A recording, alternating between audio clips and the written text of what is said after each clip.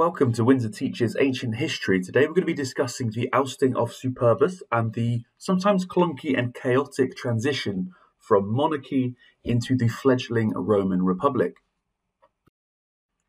Firstly, let's get some global context for this change from monarchy into republic for the Romans by looking at other things that are going on around the globe at the time. Round about this time, uh, the rule of Superbus, Cambyses II comes to the throne in Persia. Cambyses is best known for the Battle of Pelusium in 525 BC, in which he decides to use the Egyptians' belief against them and supposedly has his soldiers wear armor made up of cats, which to the Egyptians are sacred animals. Also, he makes friends with the desert Arabs, which allow him to take over Egypt with greater ease. And finally, Cambyses is also famous for his treatment of the Apis bull. After returning from a disastrous Ethiopian campaign for which he supposedly did not plan anything, he returns to uh, the city of Memphis, who are celebrating a religious festival. He takes this religious festival as a slight and slashes at the Apis bull, which the Egyptians believed was the embodiment of the sky god Ptah. After that comes Darius the Great, the third Achaemenid king. He is well known for his various different building projects. Darius, not being a direct descendant from Cambyses, has to borrow legitimacy, and he does so by lavish building projects that lend legitimacy to his name despite not being a distinct relative of Cambyses II upon his succession. So he builds and develops the, the city of Susa and he begins building the city of Persepolis. He finishes off Pasargadae and supposedly repairs lots of monuments in and around Egypt as well. He's also famous for the Darius Canal, which was actually started by an earlier Egyptian pharaoh, but for which Darius claims all the credit. He's also known for building the royal roads, which gave rise to the Persians' pride and joy, the breakneck uh, speed postal service, which is able to travel around the vast Achaemenid Persian Empire at great speed. While this is all going on, we have Superbus coming to the throne at 534 BC, and so his reign interlaps with that of Cambyses. So you can already see that the Persian Empire making a great deal of progress while Rome is still trying to find its feet. Eventually, Superbus is ousted uh, and a republic is inst- implemented instead in around 509 BC. There are various different battles in what is loosely called the Wars of Independence for Rome. So we see in the late monarchy and beginning of the republic, the word king, or in Latin rex, becomes a bit of a dirty word. However, how does this come to be? Because the previous king before King Superbus was Servius Tullius. He was of low birth, and as a result, some of his policies uh, tended towards the plebeians of Rome, Rome, the low status working class. However, Superbus is known to be a particularly tyrannical king. As the seventh king, he is the last king that the Roman civilization had. He is known for his particularly harsh treatment of his predecessor. He supposedly kicks the aging Servius Tullius down the Senate House steps. Whereupon he is set upon by Superbus's henchmen and eventually run over by his daughter Tullia. So here we see various different depictions which recur throughout history. It's one of the favorite topics for Renaissance paintings. Here we see Superbus standing over the frail and weak Servius Tullius, whose throne has now been, whose crown has now been discarded on the staircase. Here we see an etching on the same thing, Superbus standing tall above the steps, towering over the old and weak Servius Tullius. Here we see a more sort of Humpty Dumpty interpretation of it, quite comical in the way that it is staged. We've got some soldiers there uh, beating up the bodyguards of Servius, and Servius taking on a slightly more of a Humpty Dumpty style depiction in this, with his glasses askew on the floor next to him. So, and we we've got Superbus atop the throne, sitting proudly with his scepter. So, not only is Superbus famed for his particularly cruel treatment of his predecessor, he's also known for his very lavish building projects, which supposedly had a very detrimental effect on the Roman treasury, such as the temple, temple of Jupiter Optimus Maximus, Jupiter the greatest and the best, which seems to fit with Tarquin Superbus's uh, cognomen Superbus, meaning the proud or the arrogant. Furthermore, we can consider Superbus's reign as particularly dastardly for a number of other reasons. He had been married to Servius Tullius, his predecessor's daughter, but at first he'd been married to his older daughter, and Superbus's younger brother Arruns had been married to Tullius's younger daughter. Arruns and the older Tullius supposedly are very unambitious and a bit meek and mild, which did not fit with their respective spouses' view of what they wanted to achieve. So Superbus and the younger Tullia both bump off their spouses, the older Tullia and Arruns, and they eventually get married together. Together they hash this plan to usurp the throne from Tullia's father, Servius Tullius. And some of the scenes that we see through artwork since that point are depict Tullia in a carriage running over her father's body after he'd been ejected from the Senate House, thrown down the steps, and beaten up by henchmen. Here we see a medieval style etching of that scene in particular, and Tullia looking particularly ecstatic, or at least nonplussed, over her father's death and her subsequent running over of his body. However, there may also be some reasons for the ousting of Superbus and his wife, other than the man himself, his wife, or their dastardly crimes.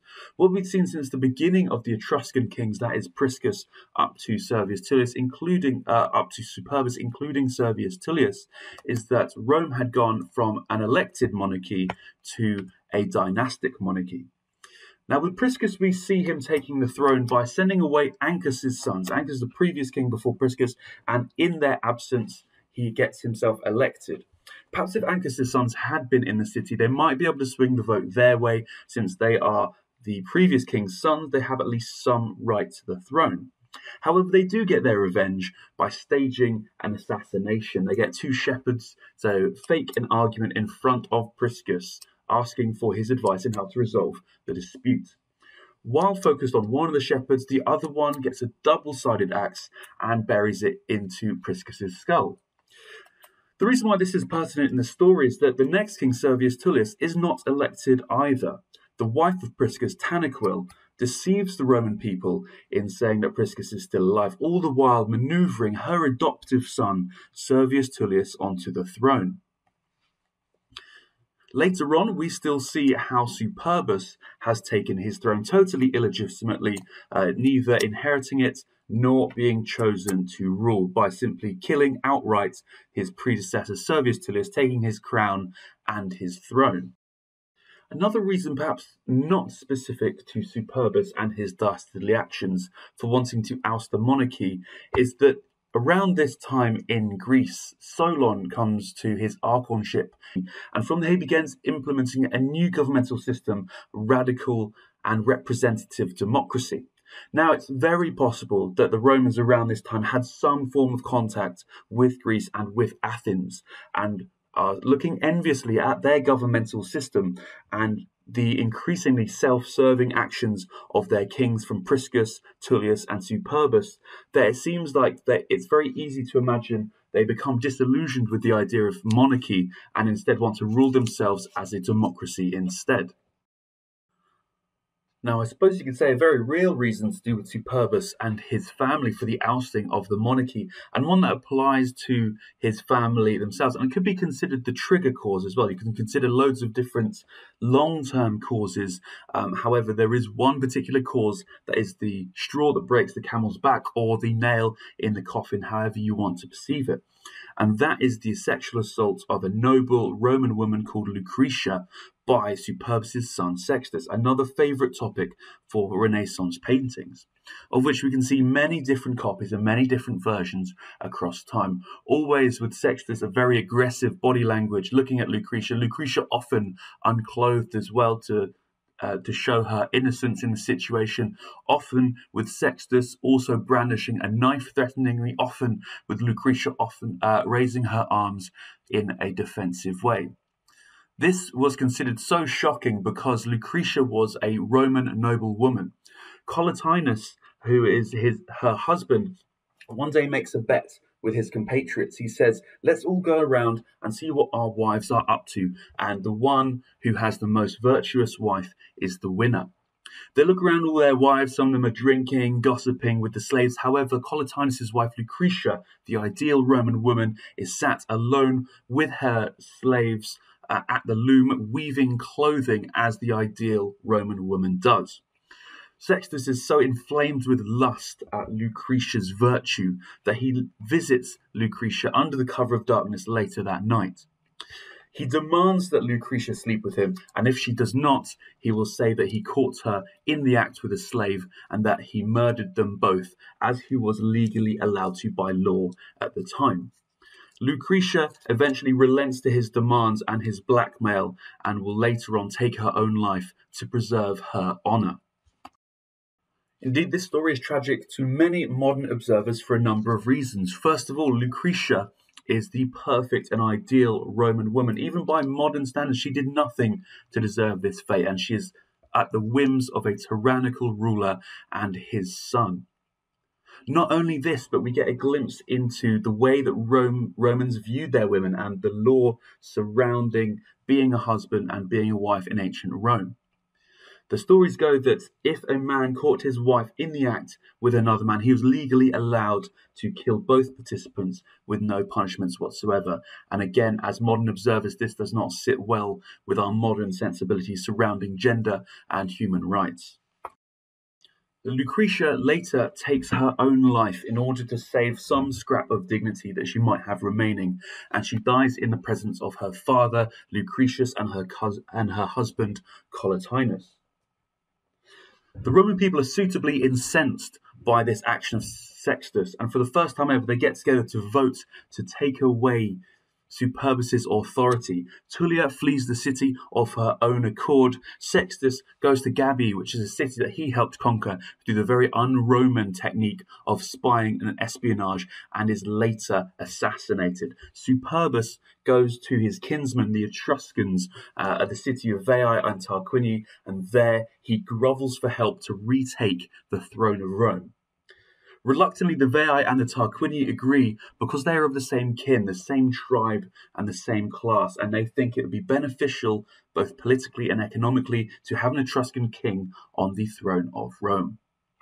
This later precipitates what we would call the Wars of Independence, where Superbus at first allies with the Veii and the Tarquinii, and later with the Etruscan king, very powerful Etruscan king, Lars Porsena. So let's conceptualize this and see if we can conclude this episode of the late monarchy to early republic and the ousting of Superbus. You can say there are many causes of these events to happen. They're, they can be sorted loosely into long term causes and a trigger cause, a straw that broke the camel's back, the last nail in the coffin, similar to the way people might analyze World War One, long term causes, as well as the trigger cause of the assassination of Franz Ferdinand. We can apply the same logic here.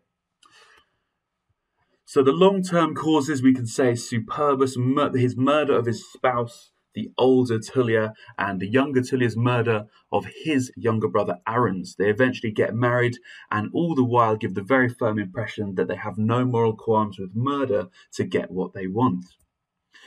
So he eventually gets married to the younger Tullia and assault and the murder of Servius Tullius, throwing him down the Senate steps, having his henchmen beat up Servius Tullius, defenseless in the street, and the later running over of Servius Tullius by his daughter in a carriage.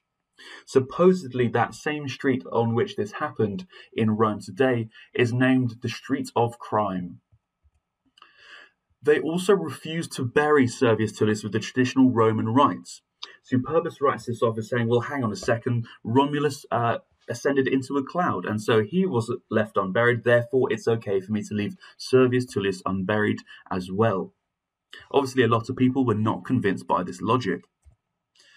He also judged crime without advisors. He essentially made himself the judge, jury, and executioner. He ruled without the say so of the Senate, without asking for advice. And so, not only had he put into place a dynastic monarchy, but also an unlimited monarchy as well.